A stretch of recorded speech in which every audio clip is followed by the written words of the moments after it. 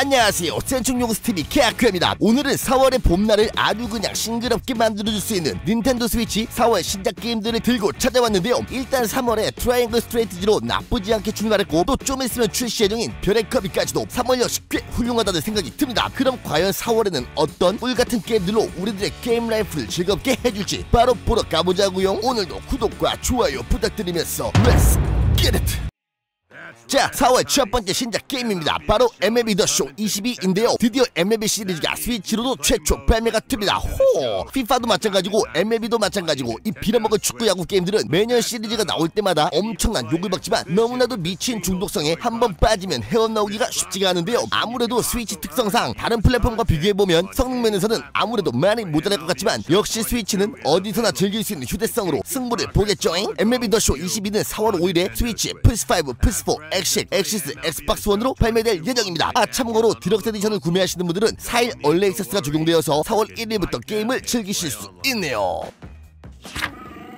다음 신작 게임은 레고 스타워즈 스카이워커 사가입니다. 우리의 레고 시리즈의 새로운 타이틀인데요. 이번 타이틀 역시 액션 어드벤처 장르로 스타워즈 사가의 9개의 영화를 모두 게임 속에서 만나볼 수 있는 새로운 레고 시리즈의 게임입니다. 제다이, 시스, 반군, 현상금 사냥꾼, 드로이드, 여러분들이 원하시는 대로 은하계 수백 명의 캐릭터들을 직접 플레이해보실 수 있고 다양한 우주선들을 타고 은하계를 누비며 전투를 펼칠 수도 혹은 내륙에서 칼 들고 멋들어지게 칼춤을 땡길 수도 있네요. 지금까지 출시된 레고 게임들 중 그래도 가장 기대되는 작품으로 스타워즈 세계관을 좋아하신다면 한번 고민해보시는 게 어떨까 싶습니다. 레고 스타워즈 스카이워커 사가는 4월 5일에 스위치, 플스5, 플스4, PC, 엑시엑, 엑시스, 엑스박스 원으로 발매될 예정이네요. 다음 신작 게임은 크로노 크로스 더 래디컬 드리머스 에디션입니다. 와 이 게임 개인적으로 스위치랑 굉장히 잘 어울릴 법한 게임이네요. 전설의 고전명작 JRPG 게임 중 하나죠. 바로 크로노 트리거의 후속작인 크로노 크로스의 리마스터링 작품입니다. 뭔가 복잡하지만 그냥 고전 JRPG인 크로노 크로스의 리마스터 판이네요. 아 그러나 전작인 크로노 트리거의 내용에서 그대로 이어지기 때문에 크로노 트리거를 꼭 즐겨보신 분들께 추천드립니다. 크로노 트리거가 시간 여행을 나가며 미래를 바꾸는 내용이라면 크로노 크로스는 두 세계가 교차하는 평행 세계 속에서 또 다른 세계 속에 있는 나 자신을 구하기 위한 모험을 그려내고 있네요. 3D 모델링의 HD와 캐릭터 일러스트 refine, BGM 음질 향상 등 다양한 부분에서 리마스터링 되긴 했지만 아무래도 워낙에 고전 게임이다 보니 크게 눈에 띄는 점은 없습니다. 아 거기다가 한글화도 안 해주는 건 진짜 리얼로 충격이네요. 으어 크로노 크로스 더 래디컬 드리머스 에디션은 4월 7일에 스위치, 플스4, PC, 엑스박스 원으로 발매될 예정입니다. 다음 신작 게임은 더 하우스 오브 데드 리메이크입니다. 드디어 드디어 이 빌어먹을 하우데가 스위치로 출시가 되네요. 작년 여름부터 정말 많은 분들께서 기다리고 계셨는데 드디어 나온다니 너무나도 기대가 됩니다. 하우스 오브 데드는 90년대 오락실 좀 다녀보신 분들이라면 다들 아실 텐데요. 그 막 오락실에서 총 들고 쏘면서 좀비들 죽이던 기억이 나죠잉? 근데 저는 엄청 못해서 끝도 없이 죽어나가는 기억이 납니다. 암튼 이번에 스위치로 발매되며 그래픽적인 부분에서 엄청난 발전을 이루었으며 오리지널 플레이의 향수를 적절하게 녹여내어서 다시 한번 오락실의 그 산뜻한 과거를 추억해볼 수 있을 것 같습니다. 하우스 오브 데드 리메이크는 4월 7일에 스위치로 발매될 예정이네요. 아 근데 아쉽게도 한국 발매는 되지 않는데요. 아무래도 해외 e숍을 이용해서 구매하셔야 될 것만 같습니다. 다음 신작 게임은 해피의 소박한 버거 농장입니다. 호러 어드벤처 장르의 게임으로 여러분은 마을 외곽에 있는 조용한 레스토랑에서 패티를 굽고 감자를 튀기고 음료를 따르며 손님들을 맞이하게 되는데요. 근데 여러분이 만약에 손님들의 주문을 잘못 응대하거나 조리 시간이 너무 오래 걸려서 손님들이 빡치게 된다면 우리의 주인님 암소 해피가 결코 여러분을 가만두지 않겠죠. 하하 근데 너무 걱정하지 않으셔도 됩니다. 그냥 손님 말만 잘 듣고 실수만 하지 않는다면 아무 탈은 없을 테니까요. 뭔가 게임 타이틀만 보고 캐주얼한 tycoon류의 게임인 줄 알았는데 뭔가 엄청나게 소름돋는 암소 해피의 이야기인 것 같습니다. 덜덜덜덜 해피의 소박한 버거 농장은 4월 8일에 스위치로 발매될 예정이네요.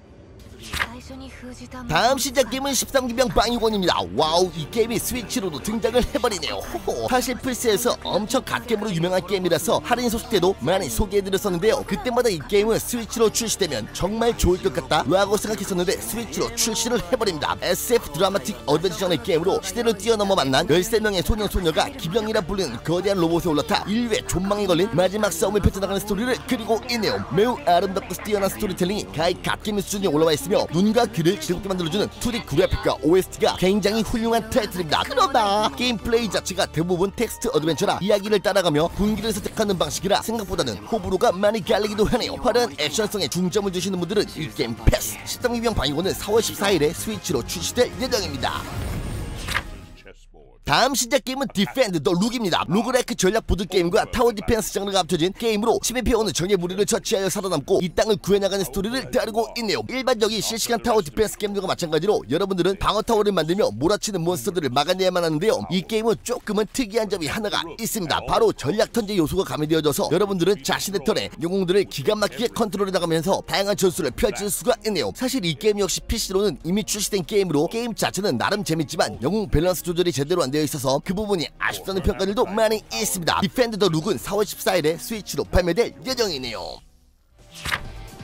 다음 신작 게임은 아누카드입니다. 하늘 위를 떠돌고 있는 아주 평화롭던 아누카드 왕국이 어느 날 하늘에서 땅으로 떨어지게 되고 아주 작은 섬 하나를 제외하고 온 세상이 몬스터들로 가득가득한 던전으로 변해버리는 세계에서 펼쳐지는 액션 RPG 게임이네요. 여러분은 이 아름답던 낙원인 아누카드를 되찾기 위해 선택된 자 Bellwielder가 되어 세계의 던전을 탐험해 나가시면 됩니다. 역시나 이런 2D 액션 RPG 게임들은 스위치와 가장 잘 어우러지는 느낌이라 개인적으로 기대해볼 만한 것 같기도 하네요. 아누카드는 4월 21일에 스위치로 발매될 예정입니다. 아, PC 등 타 플랫폼은 추후에 발매 예정이라고 하네용용. 다음 신작 게임은 간류2 하쿠마 코지로입니다. 2D 액션 platformer 장르의 게임으로 주인공인 미야모토 무사시와 코지로 사이에서 모든 일이 벌어지게 된 간류지마 섬까지 여행을 떠나는 스토리를 그리고 있네요. 봄, 여름, 가을, 겨울, 사계절의 17세기 판타지 일본을 느낄 수 있고 카미라는 특별한 능력을 통해 다양한 전투 방식을 펼칠 수 있습니다. 역시나 전형적인 platformer 게임이니만큼 돌진, 2단 점프, 벽 점프 등의 기본기를 탄탄히 숙지해서 앞을 가로막는 다양한 적들을 부수고 다시 한번 사사키 코지로를 만나러 let's 끼릿 해보자고요. 간류2 하쿠마 코지로는 4월 21일에 스위치, 플스4, 엑스박스 원, PC로 발매될 예정입니다. 다음 신작 게임은 기기괴계 검은 망토의 수수께끼입니다. 도트 그래픽의 레트로 감성이 그대로 묻어있는 액션 슈팅 게임이네요. 게임은 여러분이 다섯 명의 캐릭터 중 한 명을 선택해서 다양한 무기들을 활용해 나가며 요괴들을 쓰러뜨리시면 됩니다. 나름 기기괴계 시리즈는 유명한 것 같지만 저는 잘 모르는데요. 그래도 뭔가 이런 고전 감성의 도트 그래픽 게임들을 좋아하는 저로서는 한번 추후에 할인한다면 끼릿해볼 것 같습니다. 기기괴계 검은 망토의 수수께끼는 4월 21일에 스위치 플스4로 발매될 예정이네요. 다음 신작 게임은 요마와리 3입니다. 이 게임은 어린 소년, 소녀가 주인공인 게임으로 자신이 걸려있는 저주를 풀기 위해 밤거리를 헤매며 귀신을 피해 잃어버린 추억을 되찾아 나가는 공포 어드벤처 게임이네요. 여러분은 밤길을 돌아다니며 손전등으로 아이템과 귀신도 찾고 다양한 방법으로 달라붙는 귀신도 떼어내면서 잃어버린 추억을 되찾아 나가시면 됩니다. 트레일러에서 느껴지는 아름다운 BGM과 기묘한 분위기가 게임 자체는 꽤 재밌을 것 같은데요. 이 게임이 너무너무 아쉬운 게 한글 지원을 해주지를 않네요. 크엉 요마와리 3는 4월 21일에 플스4 스위치로 발매될 예정입니다. 다음 신작 게임은 이 베이스볼 파워풀 프로야구입니다. 야구 게임 장르에서는 상당한 인기를 누리고 있는 작품으로 저뿐만 아니라 정말 많은 분들이 이번에는 제발 한글화를 바랬지만 이번에도 역시나 한국어 지원은 물 건너간 것 같네요. 어, 그래도 전작과의 차이를 살짝만 둘러보자면 석세스, 파워페스, 영관나인 등의 모드에서 여러분들이 키워낸 오리지널 선수가 활약할 수 있는 파워파크 모드가 새롭게 등장을 했습니다. 특히나 파워파크는 전 세계의 플레이어가 모이는 테마파크로 온라인 모드를 통해 다양한 도전을 펼쳐볼 수 있다는 게 아주 그냥 꿀잼일 것 같네요. 이 베이스볼 파워 풀 프로야구는 4월 21일에 스위치 플스4로 발매될 예정입니다.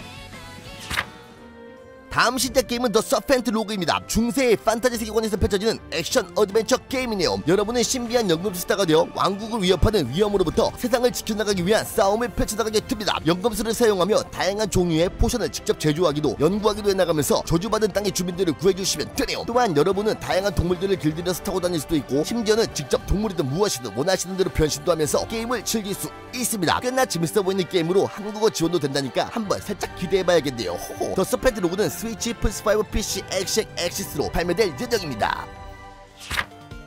다음 신작 게임은 트랜 실비입니다. 이 게임은 귀여운 사이보그 소녀 실비가 주인공인 게임으로 여러분은 검과 element shot을 날리며 적을 박살내면서 앞으로 나아가는 metroidvania 액션 어드벤처 게임이네요. 일반적으로 저는 이런 도트 그래픽의 바닥에 가시 같은 게 박혀있으면 아이 워너비 시리즈가 자꾸 생각이 나서 먼저 두려움이 엄습하는데요. 그래도 이 게임은 PC로 먼저 즐겨보신 분들의 평가를 보면 나름 난이도가 엄청 어렵지는 않은 편이라서 저 같은 생각을 하시는 분이 있다면 큰 걱정은 접어두셔도 좋습니다. 할로우 나이트, 블라스포머스, 오리, 캐슬베니아 등 대부분의 metroidvania 게임들이 뭔가 엄청 어두운 편이라면 이 게임은 꽤 밝은 분위기 속에서 펼쳐지는 게임이라서 뭔가 새로운 경험을 해보는 느낌일 것 같네요. 오호 기대가 됩니다. 트랜실비는 4월 28일에 스위치로 발매될 예정이네요.